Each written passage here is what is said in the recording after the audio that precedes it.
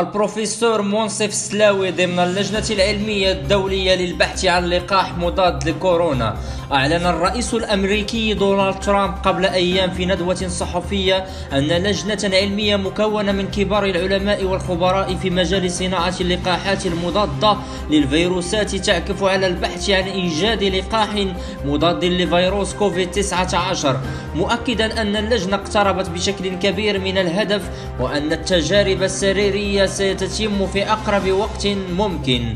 وجاء اسم الدكتور المغربي منصف محمد سلاوي في لائحة العلماء الذين استنجد بهم الرئيس الأمريكي ترامب للبحث عن لقاح ضد فيروس كورونا الفتاك.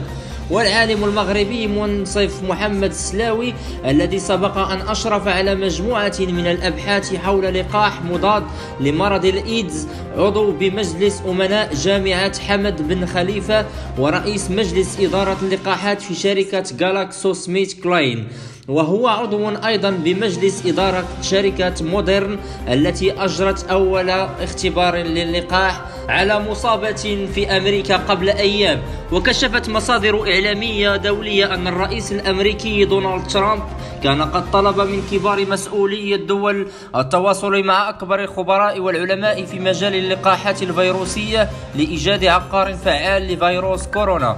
وتم اختيار البروفيسور المغربي منصف محمد سلاوي ليكون ضمن قائمة اللجنة نظير مؤهلاتها الأكاديمية والعلمية ومنجزاتها في مجال علم الفيروسات للبحث عن الحل الذي أرق العالم لحدود الساعة. وهو ما اقترب من تحقيقه حسب تصريحات الرئيس الأمريكي ليبصم المغرب مجددا بمداد من فخر على صخرة تاريخ الاكتشاف العلمية التي تتطلع البشرية جمعاء لتحقيقها وإنقاذها من جحيم هذا الوباء.